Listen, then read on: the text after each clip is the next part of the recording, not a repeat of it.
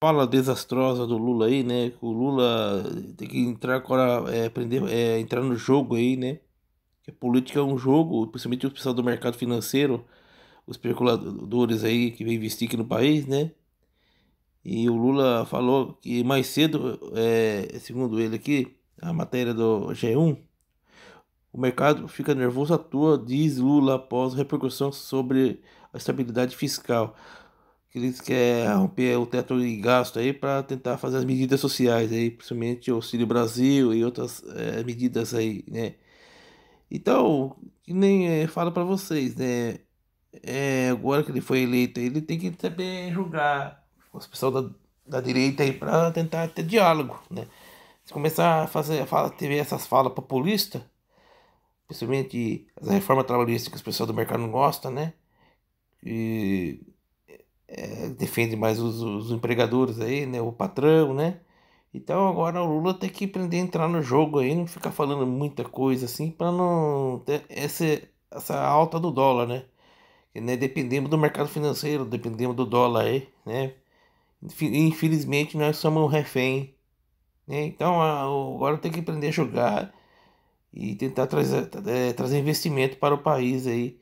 Agora começa a fazer muitas medidas que, o, que o, o empregador aí não gosta muito, aí prejudica o empregador e, e, e não gera emprego aí é ruim para a população. Então agora ele vai ter que cair na realidade e entrar no jogo dos pessoal aí para o país botar ter crédito lá fora, internacional, para atrair investimento para o país, né? Então, o Lula, sei que tem boa intenção de ajudar os mais necessitados aí, mas agora tem que ir devagarzinho, entendeu? Tem na calma, porque infelizmente boa parte do mercado financeiro ali é pessoal da extrema direita, né? São favoráveis à privatização, isso aqui, isso aqui. E o Lula é um, defende muito o Estado, principalmente é, a Petrobras, que não, que não quer privatizar a Petrobras, né? Então o Lula agora tem que entrar no jogo. Tem que entrar no jogo para pelo menos o dólar tá estabilizado ali, ou abaixar o dólar, né? O dólar não sai dos 5 reais. Depois que o Bolsonaro foi eleito aí, o dólar não sai dos 5 reais, né? E o Lula entrando aí, torcemos aí que ele abaixa o dólar para atrair investimento para o país aqui, principalmente é, abaixar os preços dos alimentos, abaixar os preços em geral de tudo aí, né? Então o Lula agora tem que ter cautela aí e falar menos, não falar muita besteira. Já basta o Bolsonaro que fala muita besteira, o, aí é, o país não tem credibilidade lá fora.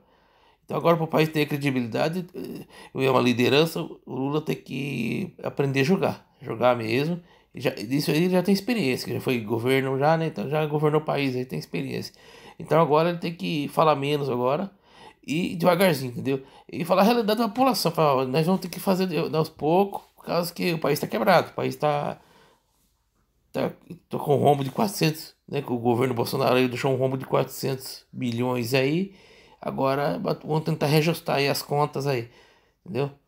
E ter paciência, a população ter paciência, né? Por causa que agora não sei se vocês vão manter o Auxílio Brasil ou não, né?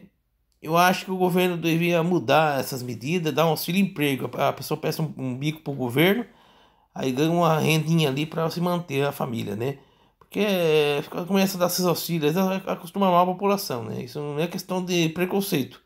É que a população começa a ficar incomodada, por isso que não gosta de trabalhar.